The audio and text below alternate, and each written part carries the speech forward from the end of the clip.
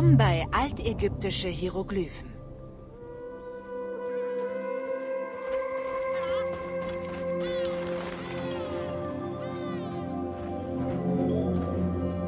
Hieroglyphen dienten der Niederschreibung religiöser Inhalte. Man findet sie auf Monumenten, Statuen und Papyri. Die ältesten Symbole, die Hieroglyphen ähneln, fand man auf Keramiken aus dem Jahr 4000 vor unserer Zeit. Diese stilisierte Schrift aus Bildern und Zeichen war die einzige, die von den Anfängen bis zum Untergang des Pharaonenreichs genutzt wurde. Die alten Ägypter bezeichneten die Hieroglyphen als die Schrift der Götter.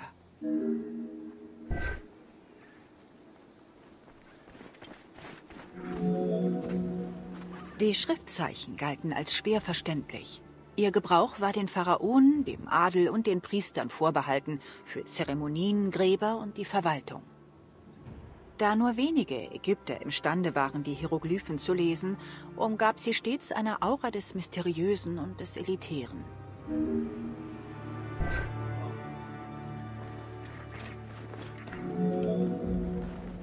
Die Hieroglyphen bieten einen tiefen Einblick in die altägyptische Kultur, nicht nur was ihre Übersetzung, sondern auch was ihre Struktur anbelangt. Man fand sie in Grabmälern, auf Sarkophagen, auf Statuen und Töpferwaren und sie wurden in zahllosen alten Papyri gewissenhaft aufgezeichnet.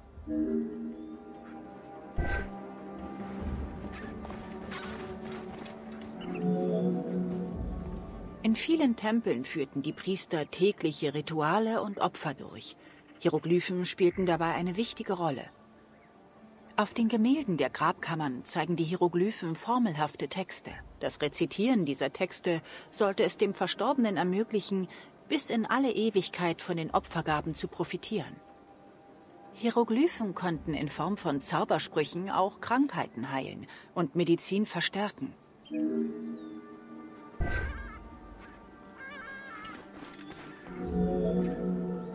Zu den wohl berühmtesten altägyptischen Texten gehört das Totenbuch. Der in Hieroglyphen und auf Hieratisch verfasste Text beschreibt Zaubersprüche und Rituale. Die heiligen Formeln sollten für einen sanften Übergang sorgen und den Verstorbenen auf seinem gefährlichen Weg in die Unterwelt schützen und leiten.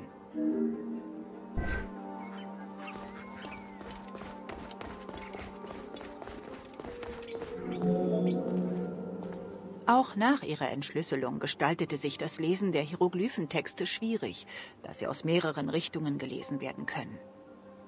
Abhängig von der Ausrichtung der Zeichen wurden Texte von links nach rechts, rechts nach links oder von oben nach unten gelesen, nie aber von unten nach oben.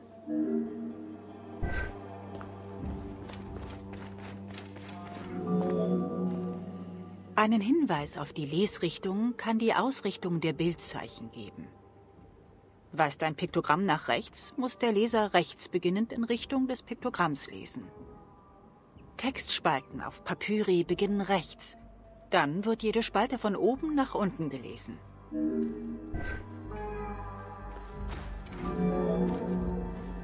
Die Texte in den Grabmälern erinnern in ihrer Struktur oft an Comicbücher. Der Text kann vor, hinter oder über einer Figur stehen.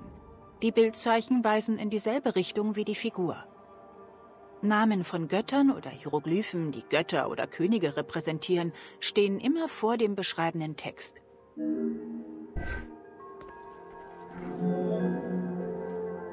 Verglichen mit alphabetischen Sprachen verfügen die Hieroglyphen über mehr Symbole. Da es keine Zeichen für Vokale gab, entwickelte man eine weitere Kategorie von Zeichen.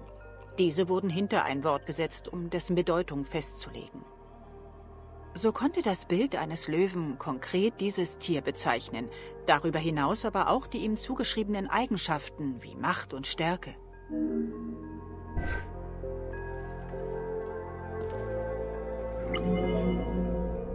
Die mittelägyptischen Hieroglyphen bestanden aus etwa 700 Zeichen. Am Ende der griechisch-römischen Periode waren es um die 10.000. Der Ägyptologe Sir Alan Gardiner legte eine klassifizierende Liste mit allen gängigen Hieroglyphen samt Varianten an.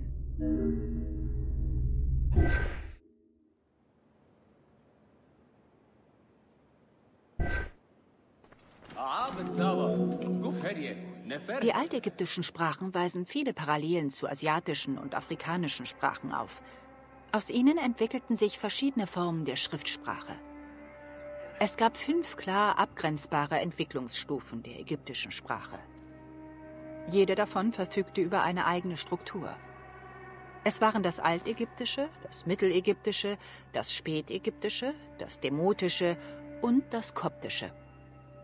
Das Koptische hat als einzige überdauert und dient Linguisten heute als lebendiges Studienobjekt zur Unterscheidung von Dialekten.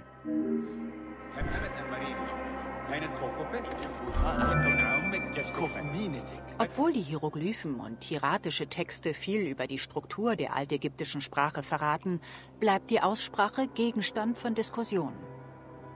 Das Team entschied sich fürs Englische. Die Charaktere nutzen dabei aber alte ägyptische oder griechische Wörter oder einen Akzent.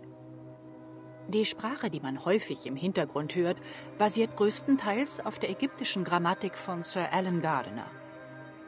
Um die tote Sprache wieder zum Leben zu erwecken, baten wir Ägyptologen und Sprachexperten um Unterstützung.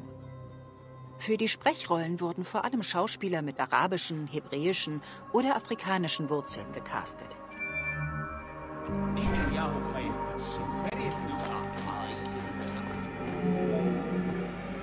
Nach der Ankunft Alexanders des Großen und der Etablierung eines neuen Reichs wurde Griechisch zur Amts- und Verkehrssprache. Da die griechischen Einwohner keine Hieroglyphen lesen konnten, errichtete man immer häufiger mehrsprachige Stelen wie den Stein von Rosette.